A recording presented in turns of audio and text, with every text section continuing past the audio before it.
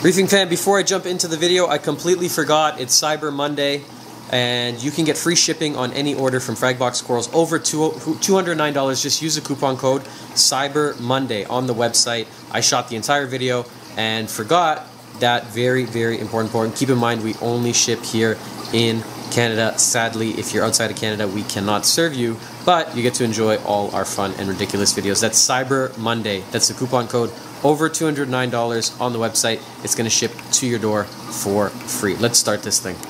What's going on, my reefing fam? March here, another episode of Fragbox TV. Nighttime, my favorite time here in the store to shoot. I can really, um, I think, think clearly and be more cohesive, I think, with the videos and what I'm trying to talk to you guys about. Anyways, I got the lights on white right now, so what I'm looking for is a little bit of feedback. We'll start with the question of the day. I'm usually shooting under blue, so just let me know how it looks on your end, on your computer, on your screen, tablet, phone, however you're watching. We're going to try something a little bit different. Usually, like I said, I'm using, oh, I lost it.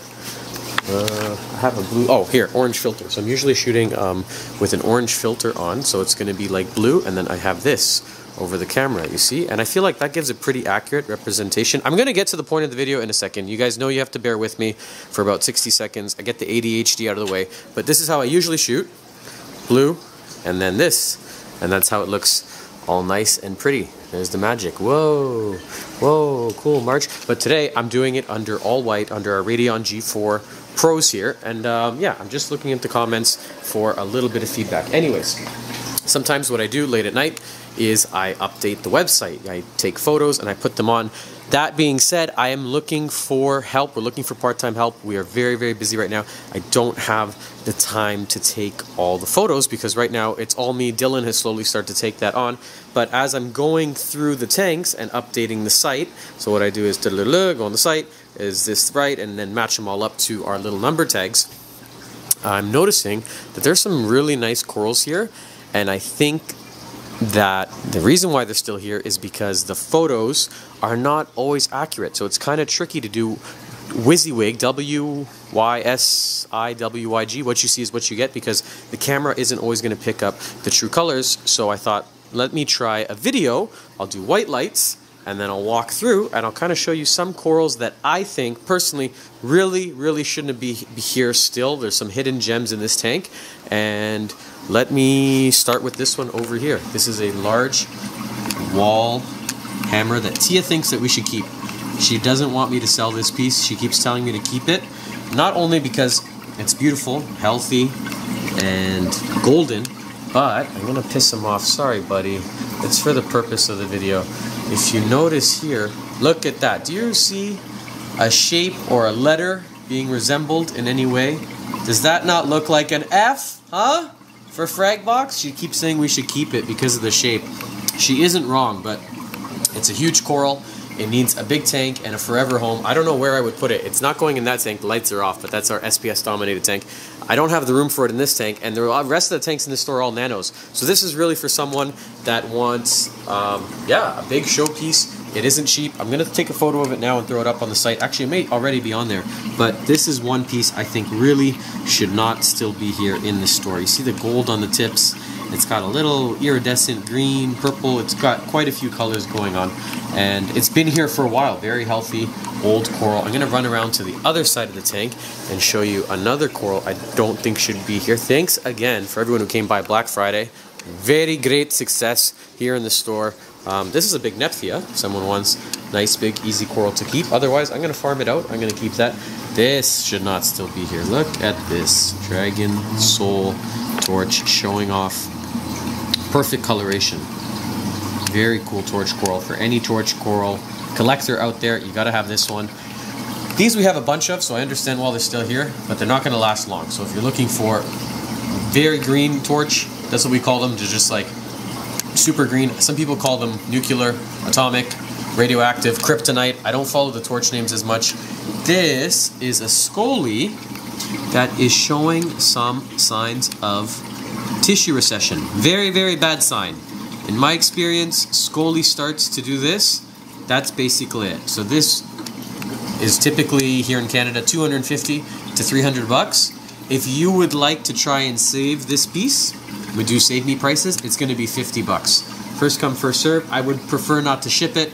Come grab it in person. In my experience, though, once you start to see a little bit of skeleton or tissue on a Scoli, its uh, its days are very much numbered. I have never successfully been able to bring one back.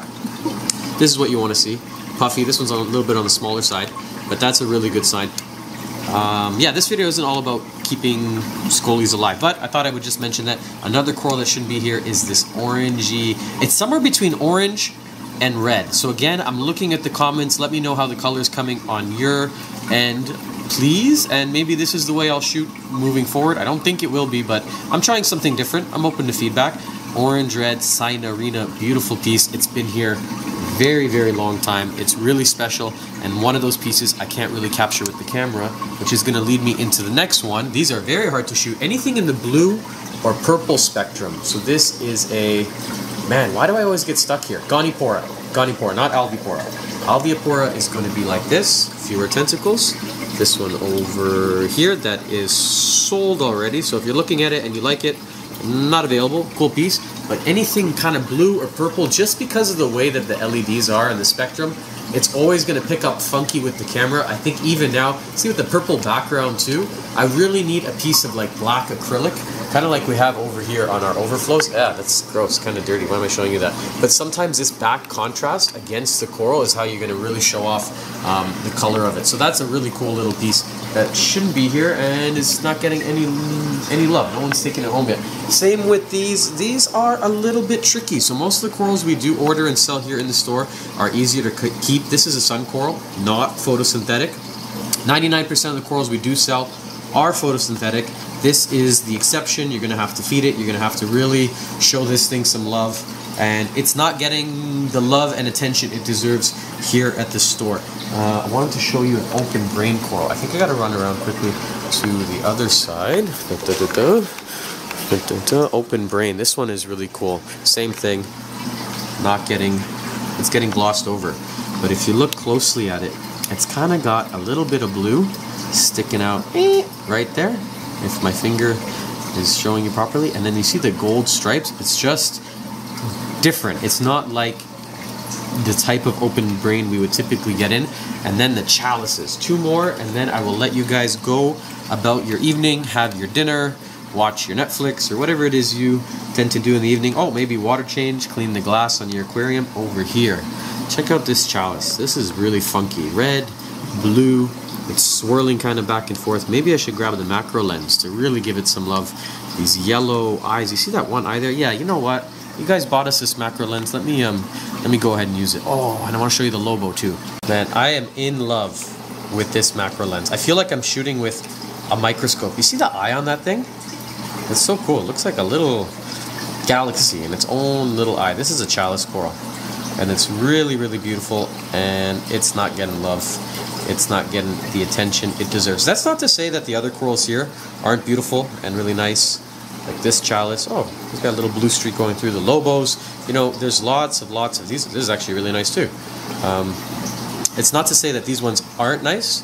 It's just that there are a couple corals here that, like I said, really shouldn't be here. And while we're on the topic of lobos, this is lobophyllia. Let me run across to the other side of the tank and show you one more. Look at him hungry. His mouth is open. This one right here. Keep in mind, I did just move it for um, for you guys, for YouTube, and it's a little bit not as puffed up, so it'll puff back up in maybe 20, 30 minutes, but I feel like going home at some point. Uh, yeah, this is a cool piece. The green, the yellow, the blue. Yellow and yellow-green lobos, uncommon. Yellow coral in general, true, true yellow corals uncommon. Again, this is under white light, so if you see it under blue light, the thing is iridescent. It really, it just glows, and it's not small. It's about four, three, three to four inches across, so it's a decent size. It's got a few mouths on it. It's a very cool lobo lobophyllia. Keep in mind, aggressive, so it does need a little bit of space, but um, I have it here next to some zoas and softies. It'll be fine. Oh, there are the blue lights. Let me go ahead and switch that over. Oh, or maybe it looks cool. Ah, maybe we leave it for one second. We'll check out the blue. Thank you. Mr. Radion. Thank you, Neptune. Hmm. Okay, I think I'm going to cover just two or three more. This is under blue light, and the lights are going to turn to white in just a second here because I pressed speed mode on my handy Apex unit. I really could talk about all the, oh, there we go. I could talk about all the corals here um, really all evening, but this orange, this is an orange branching hammer coral that's very, very cool and wants to go home with you today. Keep in mind, we are in Canada and sadly, we can only ship within Canada. Um, I know, it sucks. We're like this, this is like just coral porn. This is like a strip tease, but that's just the way it is. I like it though. Look at this. I like it. I like it a lot. I'm pretty sure I talked about this in one of the last videos, but this Favia, the way it's just, look at that, going back and forth. This little bipolar, crazy, can't decide. What, I want to be red. I want to be green. Nope. You know what? I'm going to be both. I don't have to choose. Decisions are hard. Look at that. This Acanthophyllia is stunning. Look at the pattern on it. Really cool piece. Easy to keep. Kind of like a donut coral. Hello, I should feed him. He's probably hungry, just like me. Always hungry. Perpetual hunger. And I guess we'll save the best for last. This chalice coral, I don't understand how no one's bought it yet. I'm going to take it to the bandsaw soon. I'll give it another week if nobody grabs it. Like I said in other videos, I don't want to frag this. This is beautiful just the way it is. It's perfect. It needs a forever home. But I will, unfortunately, if no one takes it, I am going to cut it. I'm probably, I'll show you actually if you want to see how I'm going to cut this chalice coral because it'll be a little bit tricky. You see how far apart the eyes are? That's so cool though. Very beautiful piece. I think we're going to wrap it up. I think that's enough for this video on corals that should no longer be here in the store. If you agree with me, um, what you need to do is just add them to your cart and take them home. I'm just kidding. Most of the viewers out there aren't able to buy these anyways. But I really appreciate you guys watching this video. And if you liked it, come back tomorrow because what we do is a video here every single day of the week. Seven days a week, a reef-related topic. Thank you very much for watching, guys, this episode of Fragbox TV. And in normal March fashion, I have an idea right at the end of the video. I forgot to mention Cyber Monday. Spend $200 or more on the website and your order is going to ship for free. Yep, absolutely free. Just use the coupon code Cyber Monday. Thanks for watching.